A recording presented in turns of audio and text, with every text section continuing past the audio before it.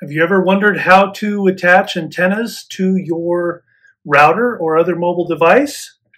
Your antenna leads, for example, can you use pliers? Can you use a wrench? Or do you just use your hand? Today's quick tip video will have some uh, suggestions on the best way to accomplish this.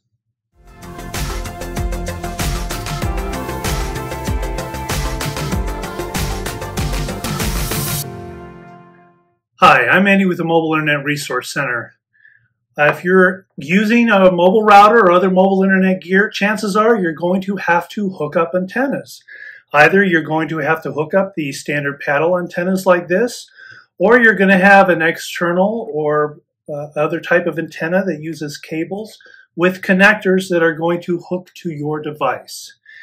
Now, how should you hook these up? Obviously, they screw into these antenna ports. For cellular connections, most of the time these are going to be SMA ports, which uh, have a little connector on them.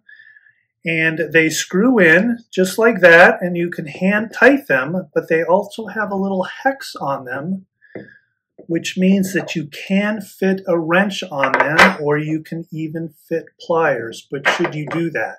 And the answer is no, you should not.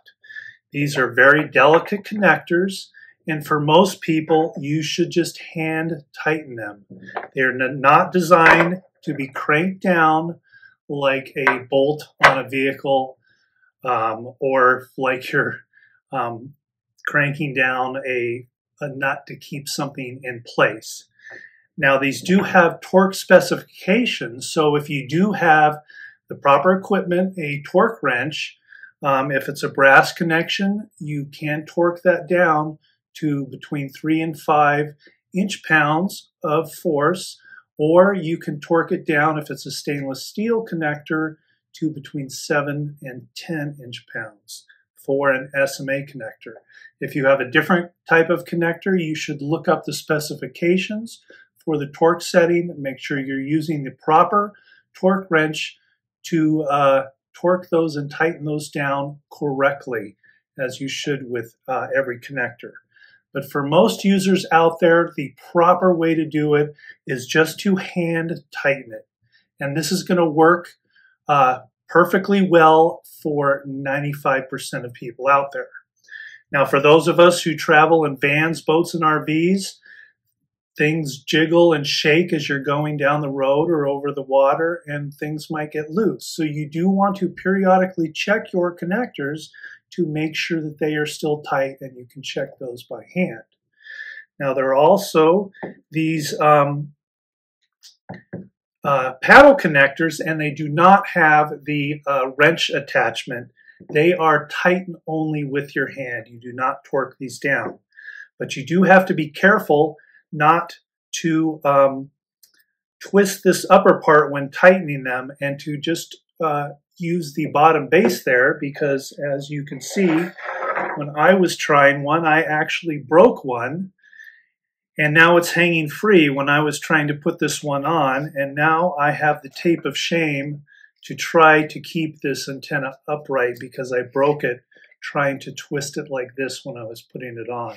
So a lot of these antennas can be delicate. It's important when you take them on and off that you do so from the base and do it carefully so you don't break the antenna um, and have to use the tape of shame like I do.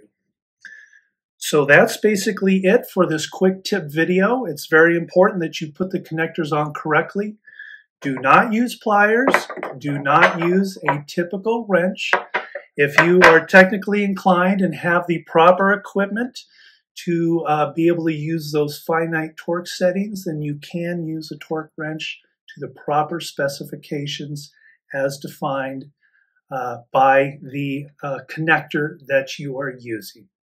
So if you like this video, please like and subscribe. And if you have any comments on uh, any of your own connector issues, you can leave a comment uh, down below. And we have a lot more information on connectors in our dedicated connector guide. And we also have more videos on connectors and everything mobile internet related here on the YouTube channel as well as on our website.